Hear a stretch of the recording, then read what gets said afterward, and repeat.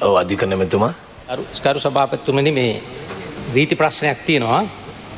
දැන් මේ ගරු සභාවේ කතික ගරු මන්ත්‍රීතුමල්ලා බොහොමයක් ඉදිරිපත් කරා මේ කොලේ වහලා ගහලා එහෙම නැත්නම් මේක සභාවට කරුණු සංගවලා අපි ශ්‍රේෂ්ඨාධිකරණ නියෝගයට විරුද්ධව ගියා කියලා. ගරු සභාපතිතුමනි මම ඊයේ දිනේ මෙම වගන්ති නමයක් පිළිබඳව විශ්වාසභංග යෝජනාවේ තියෙන කරුණු නමයම අරගෙන පෙන්නවා. ඒ නමය අනුවම කිසිම ආකාරයකින් ශ්‍රේෂ්ඨාධිකරණ නියෝගයෙන් පිට පැනල නෑ. එතකොට එතකොට පොයින්ට පෝට කතා මම කියන්නේ. ඉවරණට පස්සේ කියන්න ගරු ගරු සභාපතිතුමනි රීති පක්ෂ ඔව් ගරු මලයනස් මැතිතුමා අරු මුලසනරුට මන්ත්‍රීතුමනි එකම විවාදේ මන්ත්‍රීවරයෙකුට දෙවතාවක් කතා කරන්න පුළුවන්ද? නෑ නෑ එහෙම බෑ. එකම. විවාදේ මන්ත්‍රීවරයෙකුට දෙවතාවක් කතා කරන්න බෑ. අයිති- අයිතියක් තියෙනවා පිළිතුරු. එහෙම කොහෙද කරන්නේ? ඊයේ කතා කරලා අදත් කතා කරන්න පුළුවන්ද?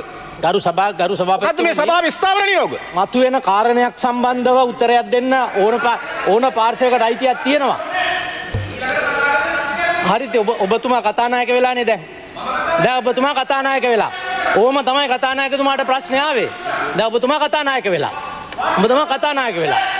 ගරු සභාපතිතුමනි අමාත්‍යතුමාගේ ඉතාම සුළු ඉතා- තියෙන්නේ විනාඩියකින් ඒ මම නිසා ඉවර කරනවා. ඔබතුමාලට කා- කාලය නාස්ති කරන්න අමාරු දෙන්න අමාරුයි ඒ හරි නිසා විනාඩියෙන් ඉවර කරනවා. ගරු කතානායකතුමනි ඔය කියපු වගන්ති වලින් මෙහි තිබෙන 33 6 34 එක 35 එක කියන එක සම්බන්ධව ශ්‍රේෂ්ඨාධිකරණය නඩු තීන්දුවක් දීලා නැහැ. ඒ සම්බන්ධ නඩු තීන්දුවක් දී නැති දෙයක්. ඒ අනුව මේ කියනවා නම් පොලේ වහලා ගහලා කියනවා නම් ශ්‍රේෂ්ඨාධිකරණයේ තීන්දුවට විරුද්ධව කටයුතු කරා නම් පෙන්වන්න මොකක් කොතනද කරලා තියෙන්නේ. වැඩි කාලයක් දෙන්න බෑ කරු ගරු- අමාත්‍යතුමා ගරු සභාපතිතුමනි ඊළඟට මම ඉවර කරනවා. දැන් ඒගොල්ලන් කැමැති තීන්දුවක් ශ්‍රේෂ්ඨාධිකරණය දුන්නට පස්සේ ඒක අනුව කටයුතු කරන්න කියනවා. ඒකට විරුද්ධව ඒගොල්ලන්ගේ හිතට ගියාවට අකමැති දෙයක් දුන්නාම කියනවා ශ්‍රේෂ්ඨාධිකරණය ගෙදර යවන්න කියලා. ගරු හරි එහෙමනේ කියන්නේ. මැතිතුමා විනාඩි 10ක් ඔබතුමාට කාලය තිබෙනවා.